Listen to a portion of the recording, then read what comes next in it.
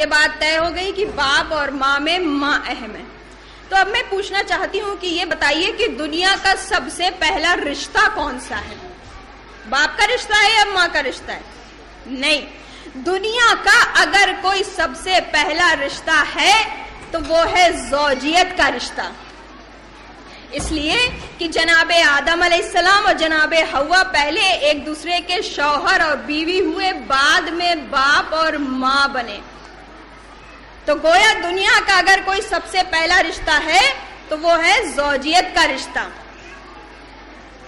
تو اب شوہر اور بیوی کے رشتے میں افضل کون ہے؟ کس کو فضیلت زیادہ ہے؟ یا یوں کہہ دوں کہ مرد اور عورت میں کس کو فضیلت زیادہ ہے؟ تو اس کو سمجھانے کے لیے میں آپ کے سامنے ایک واقعہ پیش کروں گی۔ ایک مرتبہ رسول خدا بیٹھے ہوئے تھے۔ ان کے سامنے مولا علی بیٹھے ہوئے تھے۔ اور رسول خدا کی گود میں امام حسین علیہ السلام بیٹھے ہوئے تھے۔ مولا علی کبھی مسکرا مسکرا کے چہرے رسالت کو دیکھتے ہیں، کبھی اپنے بیٹے حسین کو دیکھتے ہیں۔ اور ایک مرتبہ پوچھا، یا رسول خدا، یہ بتائیے کہ مجھ میں اور حسین میں آپ کو کون زیادہ محبوب ہے؟ اس سے پہلے کہ وہی نازل ہو اور رسول خدا کچھ ارشاد فرمائے، رسول خدا کی گود میں بیٹھے ہوئے امام حسین علیہ السلام بول اٹھے، بابا جان، نانا جان کو تو وہ زیادہ محبوب ہوگا کہ جس کے فضائل زیادہ ہوں گے۔ مولا علی نے کہا، بیٹا اچھا تو تم اپنے فضائل بیان کرو۔ کہا، بابا میں خاندان رسالت سے ہوں۔ میں خاندان رسالت سے ہوں۔ پہلے آپ میں باپ پر کیسے سبقت کر سکتا ہوں؟ پہلے آپ اپنے فضائل بیان کیجیے۔ گنجائش ہوگی تو میں اپنے فضائل بیان کر دوں گا۔ دیکھیے، اس وقت امام حسین کی عمر تقریباً تین یا چار برس کی تھی۔ لیکن جانتے تھے کہ افضل وہ ہوگا کہ جس میں کمال زیادہ ہوں گے، جس کا حسن سیرت اچھا ہوگا۔ اب جو لوگ ازواج رسول کے لیے یہ کہتے ہیں کہ فلاں بی بی رسول خدا کو بہت زیادہ محبوب تھی، تو وہ یہ جان لے کہ رسول خدا کو وہ بی بی زیادہ محبوب ہوگی کہ جس کا حسن سیرت زیادہ اچھا ہوگا۔ سلوات پڑھیے محمد۔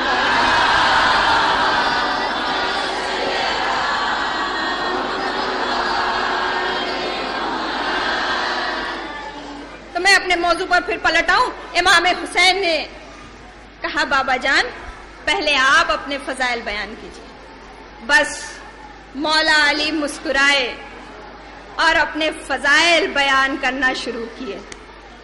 مولا علی نے ارشاد فرمایا، میں مولود کعبہ ہوں۔ میں نے گہوارے میں کلے اجدر چیر دیا۔ میں نے دستے رسول پر توریت زبور اور انجیل قرآن سنا دیا۔ میں نے دعوت زولہ شیرہ کو انجام تک پہنچا دیا۔ میں نے شب ہجرت بستر رسول پر سو کر وحدانیت کو بھی بچا لیا اور نبوت کو بھی بچا لیا۔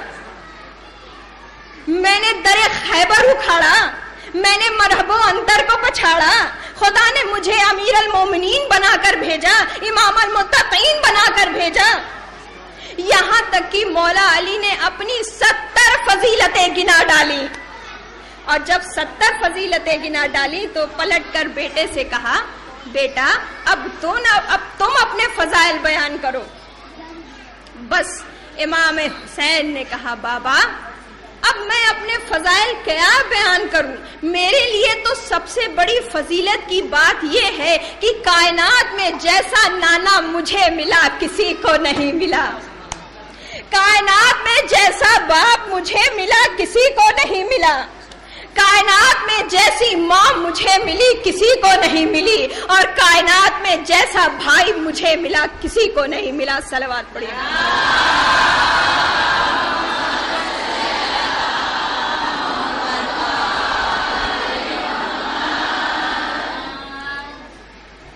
تو اس واقعے کیسے ثابت ہوتا ہے کہ انسانوں میں افضل وہ ہوگا کہ جس میں کمال زیادہ ہوں گے۔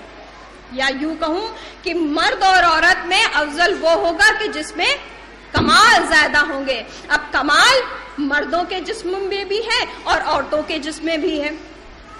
کسی میں شجاعت کا کمال ہے، کسی میں دیکھنے کا کمال ہے، کسی میں سننے کا کمال ہے، کسی میں حافظے کا کمال ہے، کسی میں تہارت کا کمال ہے۔ اگر شجاعت میں کمال نہ ہوتا تو مولا علی در خیبر کیسے اکھاڑ لیتے؟ اگر دیکھنے میں کمال نہ ہوتا تو جبریل امین کدھر ہے دیکھ کر کیسے بتا دیتے؟ اگر سننے میں کمال نہ ہوتا تو جناب سلیمان چیٹیوں کی آواز کیسے سن لیتے؟ اگر حافظے کا کمال نہ ہوتا تو مولا علی دست رسول پر طور زبور انجیل اور قرآن کیسے سنا دیتے اور تہارت میں کمال نہ ہوتا تو جناب فاطمہ زہرا مرکز آئے تطہیر کیسے بنتی؟ سلوات پڑی محمد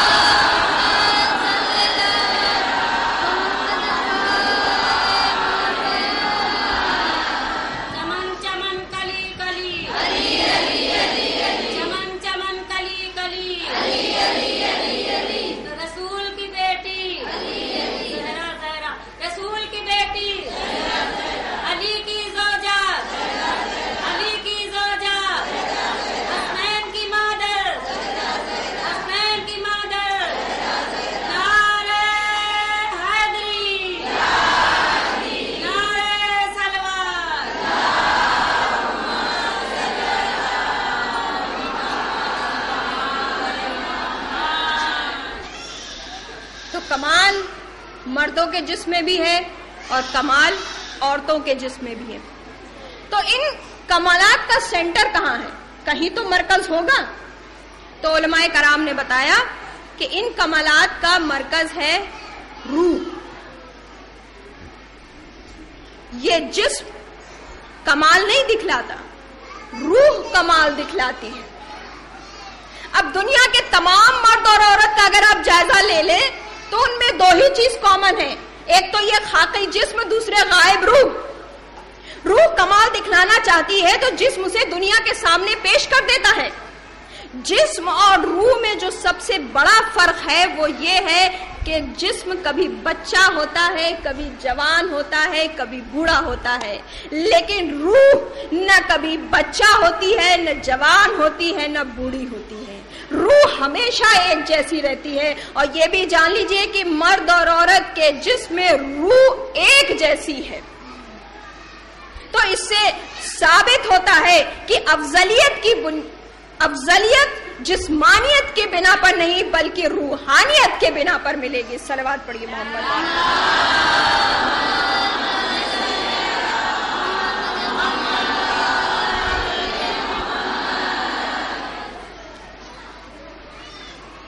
تو اب یہ بتائیے کہ بات یہاں تک ثابت ہو گئی کہ مرد اور عورت کے میں فرق ہے تو صرف جسم کا فرق ہے۔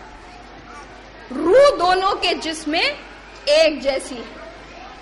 اسی فرق کے سبب سے جو باتیں مردوں کے لیے محاسن ہیں وہ عورتوں کے لیے ایپ سمجھی جاتی ہیں اور جو باتیں عورتوں کے لیے محاسن ہیں وہ مردوں کے لیے ایپ سمجھی جاتی ہیں۔ تو گویا گھرستی چلانا، خاندان چلانا، رشتے رشتے داریاں چلانا ایک ٹیم ورک ہے۔ اس میں یہ نہیں ہوگا کہ صبح کا ناشتہ تم بناؤ، دوپہر کا کھانا میں بناؤں گی۔ مرد اور عورت کی جب مجلس پڑھی جاتی ہے تو اس میں یہ تصور آ جاتا ہے عورتوں کے ذہن میں کہ گھر جا کے مردوں سے کہیں گے کہ صبح کا ناشتہ تم بناؤ، دوپہر کا کھانا ہم بنائیں گے۔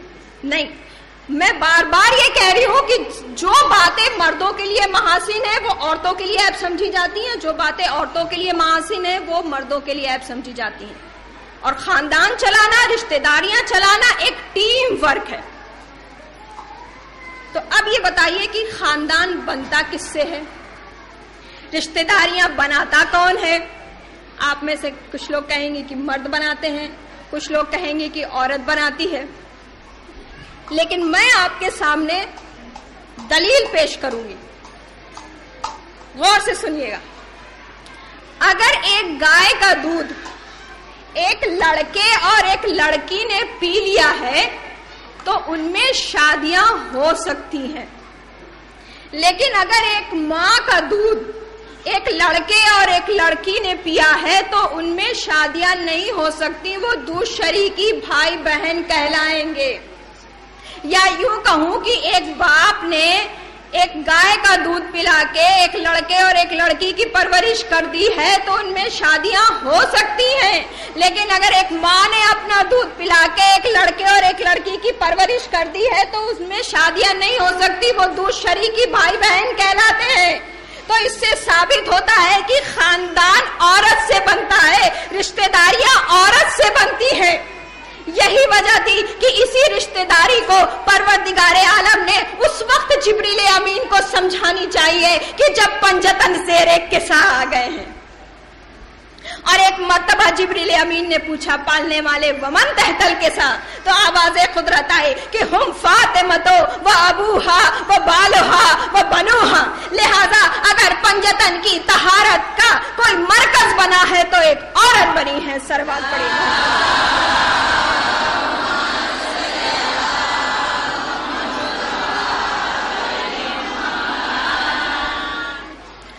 ابھی میں نے آپ کے سامنے عرض کیا تھا کہ دنیا کا اگر کوئی سب سے پہلا رشتہ ہے، تو وہ ہے زوجیت کا رشتہ۔ قرآن کی بلاغت پر ایمان لے آئیے۔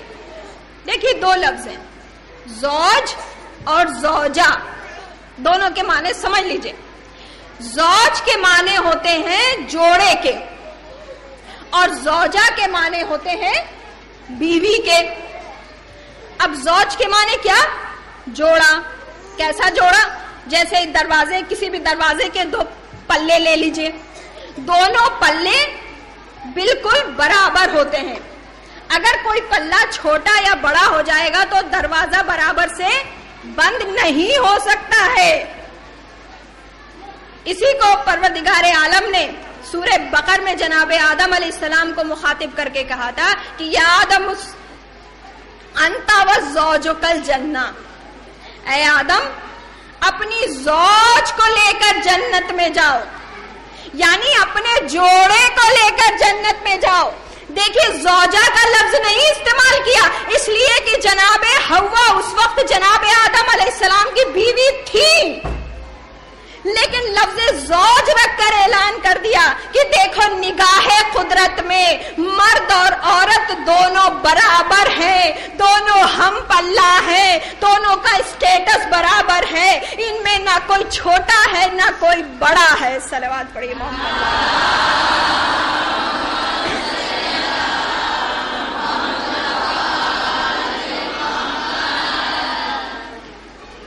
قرآن اپنے حبیب کو مخاطب کر کے کہتا ہے کہ اس وقت کو یاد کرو کہ جبکہ عمران کی بیوی نے دعا کی تھی۔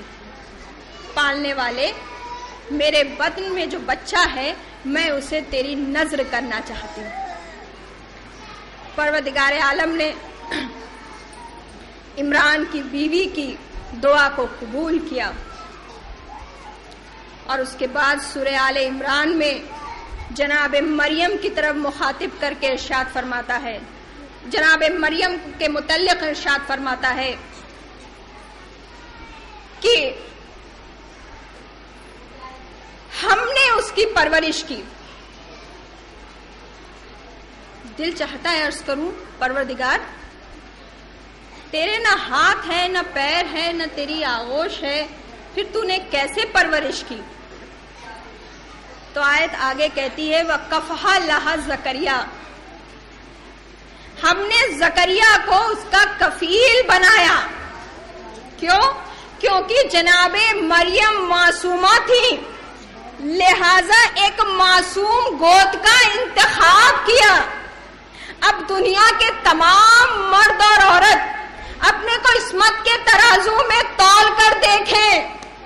کہ اگر مرد معصوم ہو گیا ہے تو اس کی پرورش غیر معصومہ سے کروا دی ہے، لیکن اگر عورت معصومہ ہو گئی ہے تو اس کی پرورش غیر معصومہ سے نہیں کرائی ہے۔ سلوات پڑھیے محمد۔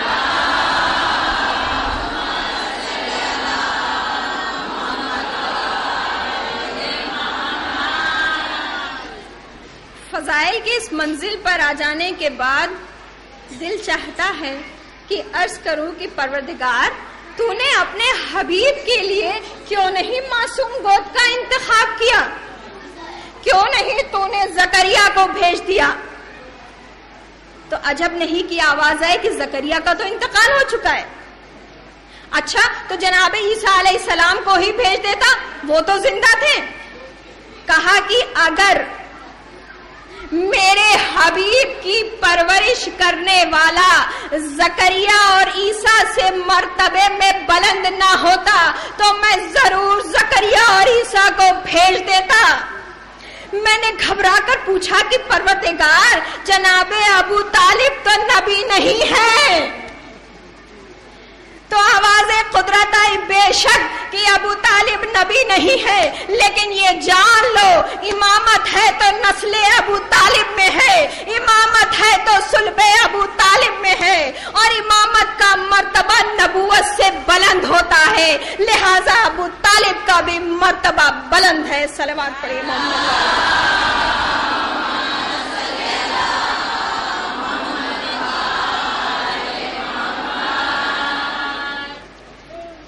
جو لوگ جناب ابو طالب کو صاحب ایمان نہیں سمجھتے، مجھ سے برداشت نہیں ہوتا۔ میں آپ کے سامنے ایک دلیل پیش کرنا چاہوں گی، جس سے ثابت ہو جائے گا کہ جناب ابو طالب صاحب ایمان اعلان رسالت سے قبل جب سورہ شورا کی آیت نازل ہوئی کہ وانزی رشیر تقل اقربین اے میرے حبیب، اپنے قرابت داروں کو ڈرائیے۔ تو رسول خدا نے مولا علی کو بلایا اور کہا، یا علی دعوت کا اہتمام کرو۔ مولا علی نے دعوت کا اہتمام کیا۔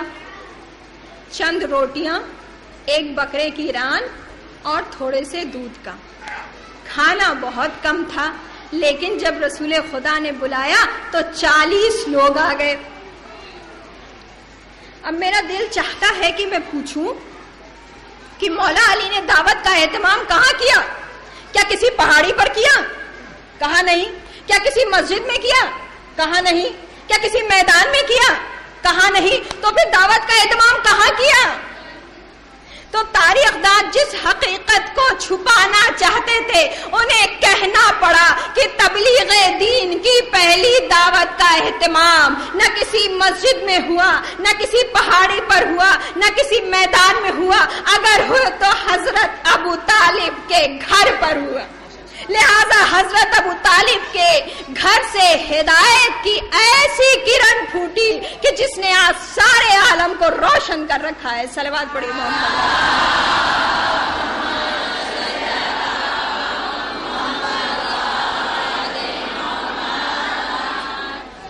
تو مولا علی نے دعوت کا اہتمام کیا۔ چند روٹیاں، ایک بکرے کی ران اور تھوڑے سے دودھ کا۔ لیکن جب رسول خدا نے بلایا تو چالیس لوگ آ گئے۔ لوگوں نے بھر پیٹ کھانا کھایا، لیکن پھر بھی کھانا بچ گیا۔ جسے دیکھ کر ابو لہب کھڑا ہو گیا اور کہنے لگا کہ دیکھو محمد محمد نے کتنا سخت جادو کیا ہے۔ ان کی بات نہ سننا اور چلو یہاں سے۔ لوگ چلے گئے۔ دوسرے دن پھر دعوت کا اہتمام ہوا۔ پھر لوگوں نے بھر پیٹ کھانا کھایا، پھر کھانا بچ گیا۔ ابو لہب پھر کھڑا ہو کے شور مچانے لگا۔ دیکھو محمد کی بات نہ سننا۔ اور چلو یہاں سے۔ لوگ پھر چلے گئے۔ تیسرے دن پھر دعوت کا اہتمام ہوا۔ لوگوں نے پھر بھر پیٹ کھایا نہ کھایا۔ پھر ابو لہب کھڑا ہو گیا شور مچانے کے لیے۔ مجھے ایک بات سمجھ میں نہیں آتی۔ ابھی تو رسول خدا نے کچھ کہا ہی نہیں تھا۔ ابو لہب کیسے سمجھ گیا کہ رسول خدا کچھ کہنا چاہتے ہیں؟ تبھی تو کہہ رہا ہے کہ محمد کی بات نہ سننا۔ لحاظ سے پتا چلتا ہے کہ اعلان رسالت سے قبل اور بعد بھی میں بھی لوگ کردار رسول سے واقف تھے۔ لہذا جان کے سمجھ گئے تھے کہ رسول خدا کچھ کہنا چاہتے ہیں۔ تو کیا جناب ابو طالب نہیں سمجھے ہوں گے کہ رسول خدا کیا کہنا چاہتے ہیں؟ بے شک سمجھے ہوں گے۔ تو پھر اگر ابو لہب کھڑا ہو کے شور مچا رہا تھا، دیکھیے اگر جناب ابو طالب اور ابو لہب کا مذہب ایک تھا تو دونوں کا ریئیکشن بھی ایک ہونا چاہیے تھا۔ یعنی اگر ابو لہب کھڑا ہو کے شور مچا رہا تھا تو جناب ابو طالب کو بھی کھڑے ہو کے شور مچانا چاہیے تھا کہ محمد کی بات نہ سنو۔ لیکن تاریخ گواہ ہے کہ ایک مرتبہ جناب ابو طالب غصے میں کھڑے ہوئے، بھائی کے گریبان میں ہاتھ ڈالا، ایک مرتبہ جھٹکا دیا، بھائی کو گھٹنیوں کے بل بیٹھایا اور غصے میں کہا کہ میں تمہیں اس وقت تک نہیں جانے دوں گا جب تک میرا بھتیجا محمد اپنی بات پوری نہ کر لے۔ پھر مسکرا کر چہرے رسالت کی طرف دیکھا اور اپنے بھتیجے سے کہا، میرے سردار، میرے مولا، آپ جو بیان کرنا چاہتے ہیں بیان کیجیے۔ آپ جو ارشاد فرمانا چاہتے ہیں ارشاد کیجیے۔ سلوات پڑے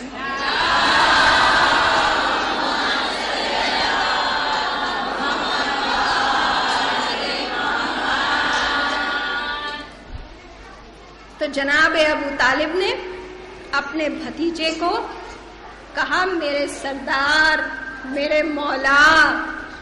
جناب ابو طالب تو خاندان کے سردار تھے، خود خاندان کے سردار تھے، لیکن اپنے بھتیجے کو کہہ رہے ہیں کہ میرے سردار، میرے مولا۔ تو اس سے کیا ثابت ہوتا ہے؟ اس سے یہ ثابت ہوتا ہے کہ جناب ابو طالب نے صرف اپنے خاندان کا ہی انہیں سردار نہیں کہا، بلکہ اپنے دین کا بھی سردار کہا۔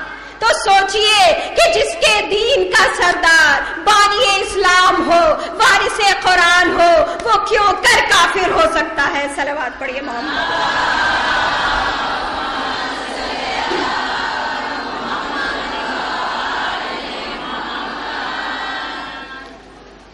اب میں موضوع پر پھر پلٹنا چاہوں گی۔ اور مولا علی کے ان تین قول کا تذکرہ کرنا چاہوں گا کہ چاہوں گی کہ جس کا تعلق بھی مرد یا اور, اور عورت سے ہے۔ لوگ کہتے ہیں کہ مولا علی نے ارشاد فرمایا کہ عورت ناقص العقل ہے ناقص ایمان ہے اور ناقص الترکہ ہے۔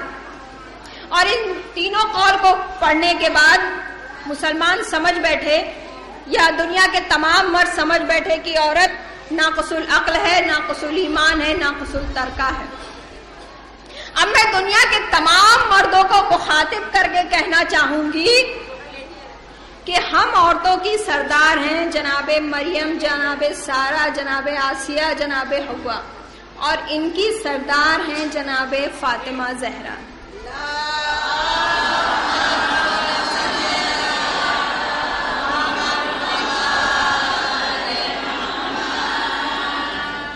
خدا کی قسم، جناب فاطمہ زہرا، نہ ناقص العقل ہے، نہ ناقص الایمان ہے، نہ ناقص الترکہ ہے۔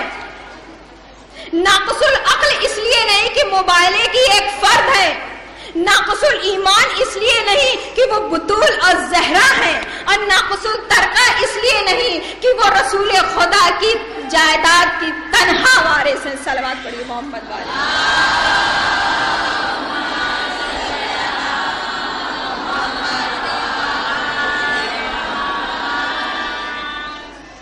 آپ کو معلوم ہے کہ رسول خدا اس وقت تعظیم کے لیے کھڑے ہو جایا کرتے تھے کہ جب فاطمہ زہرا ان کی خدمت میں آیا کرتی تھی۔ تو رسول خدا نے صرف اپنی ہی بیٹی کو عزت نہیں دی، بلکہ دنیا کی تمام بیٹیوں کو عزت دی ہے۔ اور ان عورتوں کو حکم دیا ہے، ان عورتوں کے لیے کہا ہے کہ وہ عورت بہت بابرکت ہے کہ جس کے یہاں بیٹی کی ولادت ہوتی ہے۔ اب جو لوگ الٹرا ساؤنڈ کروا کے ماؤں کے رحموں میں بیٹیوں کو قتل کروا دیتے ہیں، وہ دیکھیں کہ خدا کی کتنی بڑی رحمت سے محروم رہ جاتے ہیں۔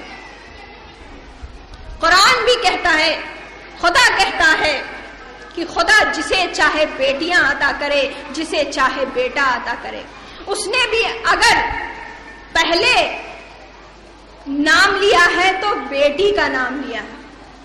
کہ جسے چاہے بیٹیاں عطا کرے جسے چاہے بیٹا عطا کرے رسول خدا ارشاد فرماتے ہیں کہ بیٹیاں رحمت ہے اور بیٹا نعمت ہے۔ خدا نعمت کا تو حساب لے گا، لیکن رحمت کا کوئی حساب نہیں ہوگا۔ ایک مقام پر یہ بھی ارشاد فرمایا ہے کہ بیٹی محنت ہے اور بیٹا نعمت ہے۔ محنت پر ثواب ملتا ہے اور نعمت پر کوئی ثواب نہیں ملتا۔ تو وہ ماں باپ سوچیں کہ جن کے گھر بیٹیاں پیدا ہوتی ہیں، وہ خدا ان پر کتنی بڑی رحمت نازل فرماتا ہے۔ سلوات پڑھیے محمد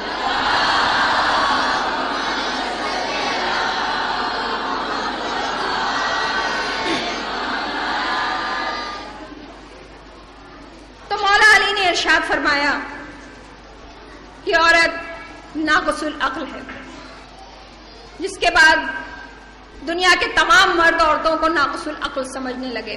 اور دلیل بھی پیش کی کہ چونکہ دو عورت کی گواہی ایک مرد کی گواہی کے برابر ہوتی ہے۔ دیکھیے، خدا خالق عورت بھی ہے اور خالق شہادت بھی ہے۔ خدا عورت کی مزاج سے بھی واقف ہے یعنی اس کی حیا، ہچکچاہٹ، نرم دلی سے بھی واقف ہے۔ تو دوسری جانب عدالتی کاروائیوں سے بھی واقف ہے۔ لہذا اس نے نہیں چاہا کہ عورت گواہی دینے جائے تو تنہا جائے۔ اور کچھ موقع تو ایسے ہیں کہ جہاں عورت کی تنہا گواہی بھی کافی سمجھی جاتی ہے۔ جیسے بچے کے زندہ یا مردہ پیدا ہونے کی گواہی، عورت کے کسی جنسی عیب کی گواہی۔ اور ایک واقعہ بھی پیش کر دوں آپ کے سامنے۔ ایک مرتبہ ہارون رشید کے دربار میں ایک بہت خوبصورت سی عورت تھی۔ جب ہارون رشید نے اس کی طرف ہاتھ بڑھانا چاہا تو اس عورت نے کہا کہ میں تمہارے باپ کی زوجہ رہ چکی ہوں۔ جس پر ہارون رشید نے قاضی ابو یوسف کو بلوایا اور فتوا پوچھا۔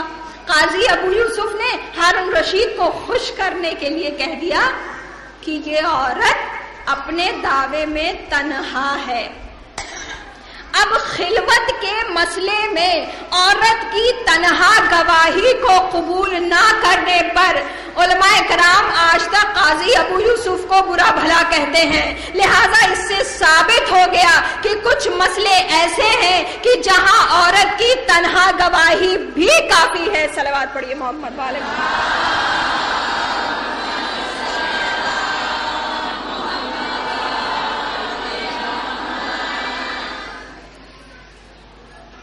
عورت ناقصول ایمان ہے اور اس کی دلیل یہ دی جاتی ہے کہ کچھ خاص دنوں میں عورت نماز نہیں پڑھ سکتی، روزہ نہیں رکھ سکتی۔ تو میں ثابت کر دوں کہ عورت ناقصول ایمان بھی نہیں ہے۔ اس لیے کہ دیکھیے، خدا کا حکم ہے کہ اگر نشے کی حالت میں ہو تو نماز سے دور رہو۔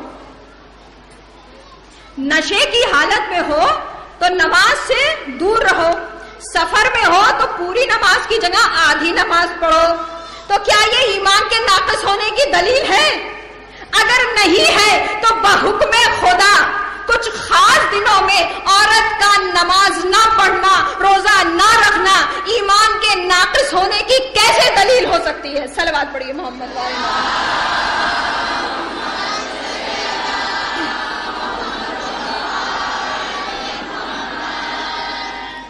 تیسرا قول، کہ عورت ناقص الترکہ ہے۔ اور دلیل یہ دی جاتی ہے کہ باپ کی جائیداد میں سے اس کو حصہ کم ملتا ہے۔ تو دیکھیے، اگر عورت کو باپ کی جائیداد میں سے حصہ کم بھی ملتا ہے، تو شوہر کی جائیداد میں سے اس کو حصہ مل جاتا ہے۔ اور یہ بھی جان لیجیے کہ عورت پر جہاد، جنگ، دفاع واجب نہیں ہے، اس کا نان و نفع بھی مرد پر واجب ہے۔ تو گویا، عورت ناقص ترکا بھی نہیں ہے۔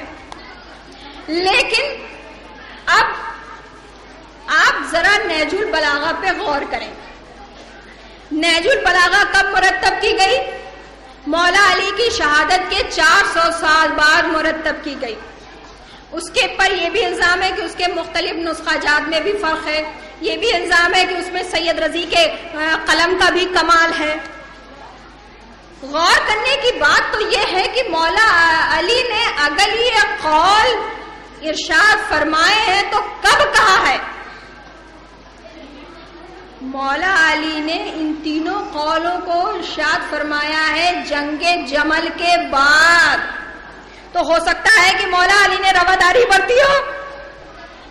آپ بھی اگر ان تینوں قول میں سے صرف لفظ عورت ہٹا کر جنگ جمل کی کمانڈر ان چیف کا نام رکھ دے تو یہ تینوں قول بالکل صحیح ہو جائیں گے۔ اس لیے کہ وہ ناقص العقل بھی تھی، ناقص الایمان بھی تھی اور ناقص الترکہ بھی تھی۔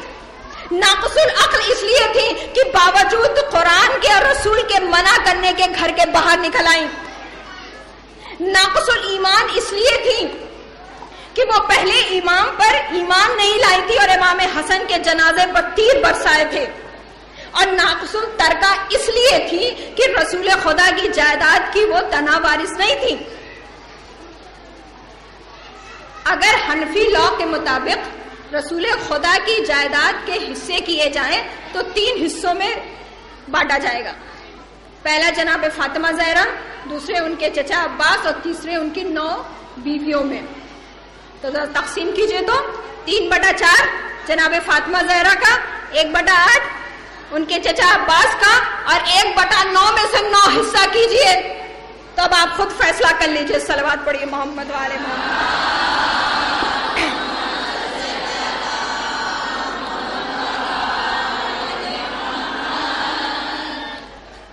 رسول خدا کی زندگی میں بھی بعض صحابہ کے دل میں یہ خیال آنے لگا تھا کہ ہم باد رسول فلاں بیوی سے عقد کر لیں گے۔ لہذا اس خیال کو ختم کرنے کے لیے پروردگار عالم نے ارشاد فرمایا کہ ازواج رسول امت کی ماں ہیں۔ جس کو سننے کے بعد، پڑھنے کے بعد مسلمان ازواج رسول کو جناب فاطمہ زہرا سے بھی مرتبے میں بلند سمجھنے لگے۔ لہذا اس خیال کو ختم کرنے کے لیے رسول خدا نے بار بار ارشاد فرمایا کہ دیکھو فاطمہ، میری بیٹی اپنے باپ کے لیے ماں کا درجہ رکھتی ہے۔ میری بیٹی فاطمہ زہرا سے مقابلہ نہ کرنا۔ اس لیے کہ تم صرف امت کی ماں ہو اور وہ میری ماں ہے۔ سروات پڑی محمد والا۔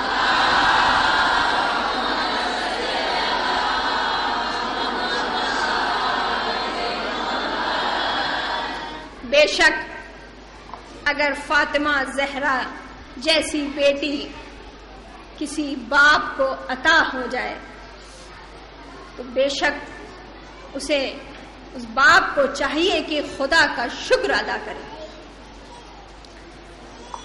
اس لیے کہ جناب فاطمہ، زہرا وہ بھی بھی ہیں کہ جن کے عقد کا فیصلہ بھی اگر کسی نے کیا ہے تو خدا نے کیا۔ ہے ایک مرتبہ کچھ لوگ رسول خدا کی خدمت میں آئے اور کہا، یا رسول خدا ہم سیدہ کے عقد کے بارے میں آپ سے کچھ گفتگو کرنا چاہتے ہیں۔ کہا، مجھے سیدہ کے عقد کرنے کا حق نہیں ہے۔ کہا، آپ کو نہیں؟ ارے، آپ تو باپ ہیں، تو پھر کسے ہے کہا، خدا کو ہے۔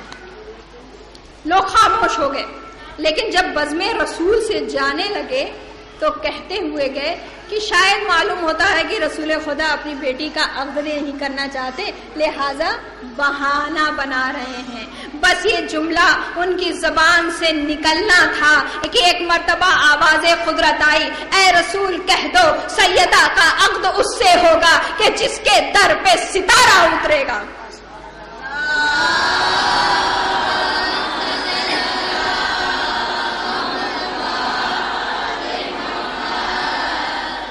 بس رسول خدا نے اعلان کر دیا سیدہ کا عقد اس سے ہوگا کہ جس کے در پہ ستارہ اترے گا۔ جب یہ خبر لوگوں کو معلوم ہوئی تو تاریخ بتاتی ہے کہ اس رات لوگ سوئے نہیں۔ رات بھر اپنے سہن میں جا کر کھڑے رہے اور آسمان کی طرف دیکھتے رہے کہ دیکھیں تو ستارہ کس کے در پہ اترتا ہے۔ کہ ایک مرتبہ لوگوں نے کیا دیکھا کہ ایک ستارہ ٹوٹا۔ اور زمین کی جانب چلا۔ لوگوں کی دھڑکنیں بڑھ گئیں کہ نہ جانے کس کے در پہ اترے گا۔ پھر لوگوں نے کیا دیکھا کہ ستارے کا رخ محلے بنی ہاشم کی طرف ہے اور دھڑکنیں بڑھ گئی پھر کیا دیکھا لوگوں نے کہ ستارہ نے ایک مرتبہ طواف کرنا شروع کیا۔ طواف کرنے کے بعد ایک مرتبہ علی کی ڈہڑی کی جانب چلا۔ مولا علی نماز میں مشہور تھے کہ ایک مرتبہ ستارہ در پہ اترا اور سیدہ کے عقد کا فیصلہ ہو گیا۔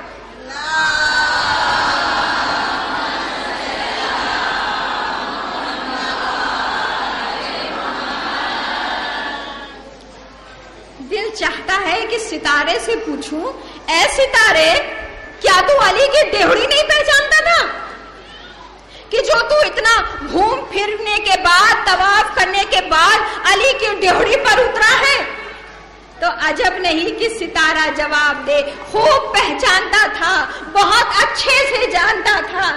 لیکن اگر میں آسمان سے ٹوٹ کر سیدھے علی کی ڈیوڑی پر اتر جاتا تو دنیا والے کہہ دیتے، اتفاق سے ستارہ ٹوٹا اور علی کے در پہ گر گیا۔ میں نے طواف کر کے بتا دیا کہ دیکھو، جان بوجھ کر حکم خدا سے علی کے در پہ اترا ہوں۔ سلوات پڑی محمد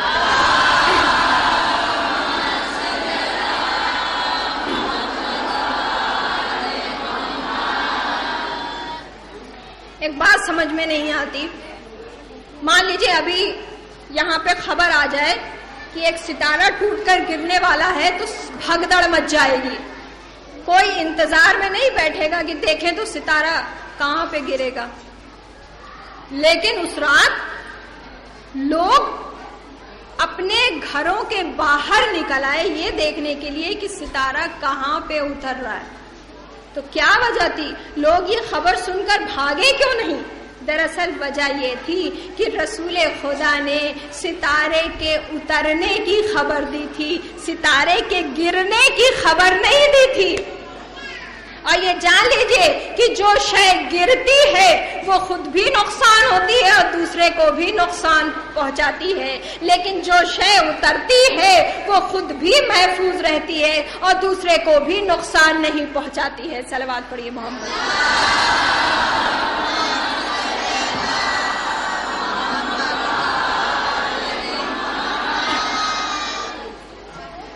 بے شک رسول خدا نے ارشاد فرمایا کہ میری بیٹی اپنے باپ کے لیے ماں کا درجہ رکھتی ہے۔ دیکھو، فاطمہ سے مقابلہ نہ کرنا، اس لیے کہ تم صرف امت کی ماں ہو اور وہ میری ماں ہے۔ لیکن افسوس، بعد شہادت رسول کون ایسا ظلم ہے جو بیوی پر نہیں ہوا؟ رسول خدا کی شہادت کے بعد کے حجرے ازواج رسول کو دے دیے گئے اور بیوی سے فدق چھین لیا گیا۔ جناب سیدہ نے فریاد کی تھی کہ بابا، آپ کے بعد مجھ پر اتنے مسائل گرے کہ اگر دن پر گرتے تو رات میں تبدیل ہو جاتے میرا دل کہتا ہے کہ جب روح سیدہ دنیا سے جا رہی ہوں، تو صرف روح رسالتی نہیں، صرف روح انبیاء ہی نہیں، بلکہ حوروں نے بھی بڑھ کے قدم بوسی کی ہوگی۔ جناب خدیجہ نے اپنی باہیں پھیلا دی ہوں گی۔ آ، میری بیٹی، میری آغوش میں آ جا۔ نے بڑے مسائل اٹھائے۔ تیرے پہلو پہ جلتا ہوا در گرایا گیا۔ تیرے محسن کی شہادت ہو گئی۔ تو عجب نہیں کہ جناب فاطمہ زہرا نے اپنی مصیبت بیان کرنی چاہی ہو۔ تو رسول خدا نے کہا ہو، بیٹی، ابھی تم اپنے مسائب نہ بیان کرو۔ اے میری لال ابھی تمہیں اپنی بیٹی زینب کی مصیبت دیکھنی ہے۔ ابھی تمہیں کربلا کا منظر دیکھنا ہے۔ ابھی تمہیں عباس کے کٹے ہوئے بازو دیکھنے ہیں۔ ابھی تمہیں علی اکبر کے سینے میں دھسا ہوا برچھی کا پھل دیکھنا ہے۔ ابھی تمہیں قاسم کی پامال لاش دیکھنی ہے۔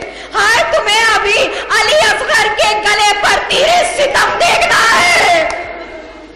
ہائے، تمہیں ابھی اپنے لال کے کے لاشے پر پہنچنا ہے۔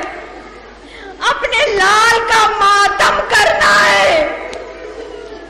میں کہوں گی، بیبیوں، امام حسین کی شہادت پر نہ صرف جناب سیدہ روئی ہے نہ صرف رسول خدا اور مولا علی روئے ہیں، بلکہ زمین اور آسمان روئے ہیں، چرند اور پرند روئے ہیں، یہاں تک کہ جن تک روئے ہیں۔ نہ یقین ہو تو میں بتا دیتی ہوں۔ ایک راوی کا بیان ہے کہ ایک مرتبہ میں اپنی کشتی پر سوار ہو کے کہیں جا رہا تھا کہ طوفان آیا اور میری کشتی ڈوب گئی۔ میں ایک لکڑی کے تختے کے سہارے کنارے پہنچا تو میں نے کیا سنا کہ ایک جانب سے کسی کے رونے کی آواز آ رہی ہے۔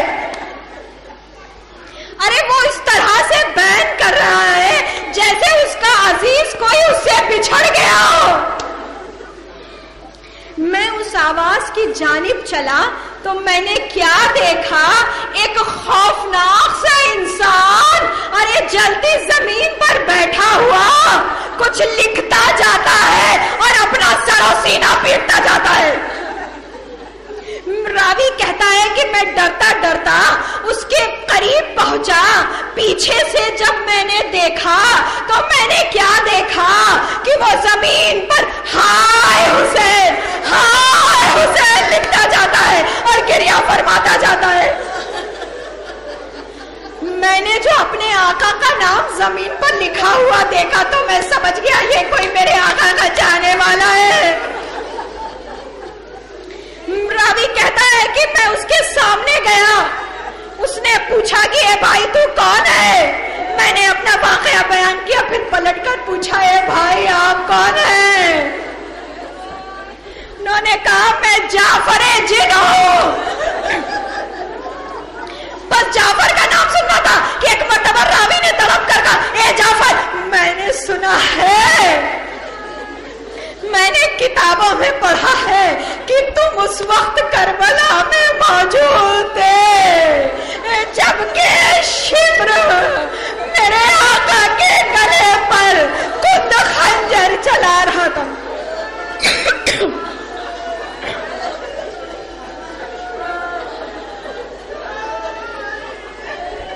اے جعفر تم مجھے کربلا کا آنکھوں دیکھا حال بیان کر دو ہائے جعفر نے جو کربلا کا نام سنا تو سارا قطار رونے لگے اور کہا اے راوی دے سنو جعفر کربلا کی داستان بیان کرنے جا رہا ہے اے بھائی میں اپنے تخت پر بیٹھا ہوا خوشیاں منا رہا تھا کہ کچھ جن میرے پاس آئے اور بولے اے جعفر تم خوشیاں منا رہے ارے سیدہ کا لال لڑکا آدھا میں گرا ہوا ہے ارے جلدی چلو کہیں دیر نہ ہو جائے میں نے اپنا تخت و تاج چھوڑا اور کربلا کی جانب چلا میرا دستور تھا کہ جب بھی میں نجب سے گزرتا تھا تو اپنے آقا مولا علی کو سلام ضرور کرتا تھا اور مجھے میرے سلام کا جواب بھی ملتا تھا لیکن اب جو میں نے سلام کیا تو مجھے میرے سلام کا جواب نہیں ملا ارے میں سمجھ گیا کہ میرا آقا مولا بھی کربلا میں موجود ہے۔ میں نے کہا، اے ساتھیوں جلدی چلو، کہیں ایسا نہ ہو کہ دیر ہو جائے۔ میں فرات کے کنارے پہنچا۔ ارے، میں نے کیا دیکھا؟ ایک لاش کے دونوں بازو کٹے ہوئے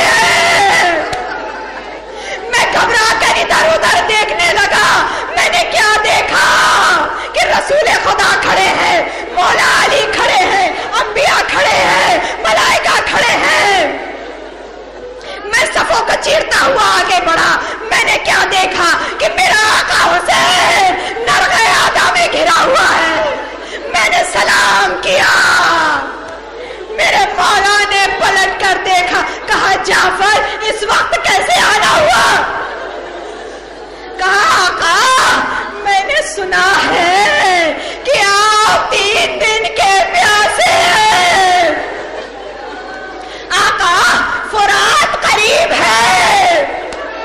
مجھے اجازت دے دیجیے کہ میں آپ کو پانی پلا دوں۔ کہا نہیں جعفر۔ میں پانی نہیں پینا چاہتا۔ پوچھا آقا پانی کیوں نہیں پینا چاہتے؟ کہا، اے جعفر، تم جاننا چاہتے ہو کہ میں پانی کیوں نہیں